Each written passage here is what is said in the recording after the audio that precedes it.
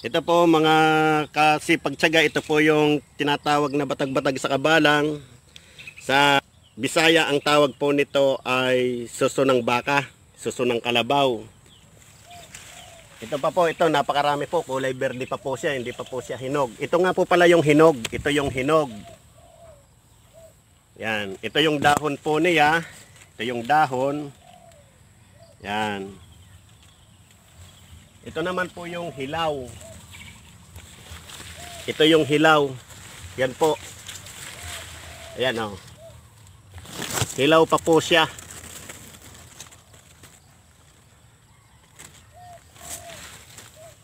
Kung tawagin yan dito sa amin, batag-batag sa kabalang.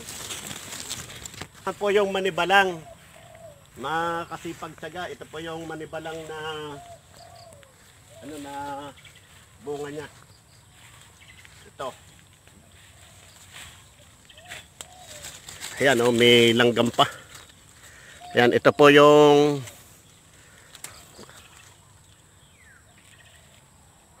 Yan. Pero hinog na rin po siya. Pwede na po siyang kainin.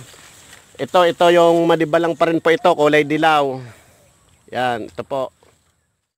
Ito na po, sasaidin ko. Mama, Maasim-asim po na matamis. Sarap.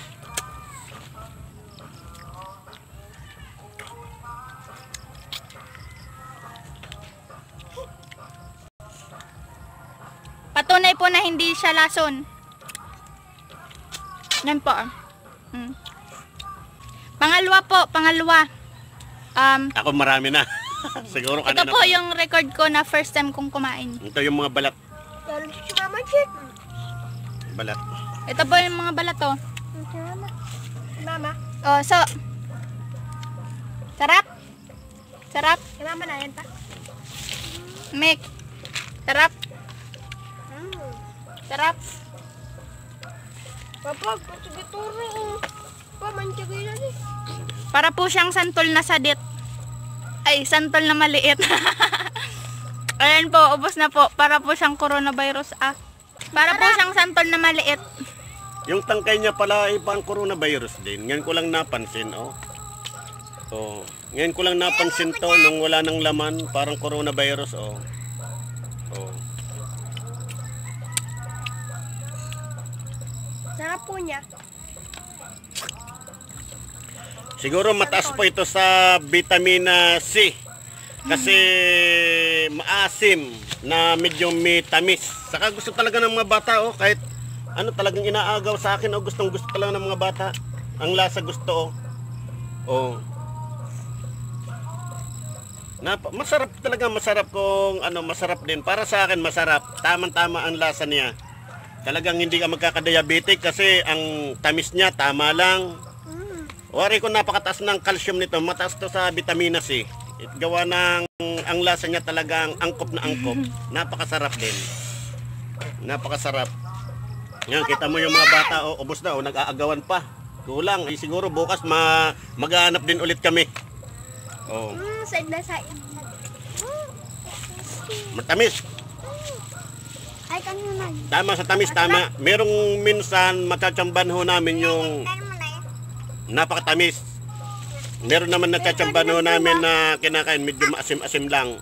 Pero may konting tamis. Meron isang maliit na maliit pero matamis. Ah, Pag nakakita po kayo ng ganitong prutas. Yan, adi. sarap siya. Sarap din po.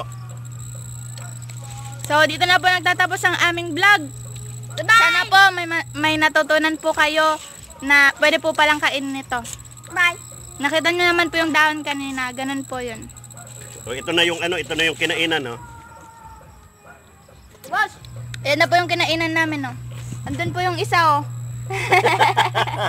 Ay! Artista namin yan, artista namin yan. Bye. Bye-bye! Bye-bye po! Bye-bye! Ang sarap. Ang sarap. Ipag-aralan niyo po, mga scientifico, baka sakali makatulong po ito sa COVID. Baka gamot din po ito sa COVID.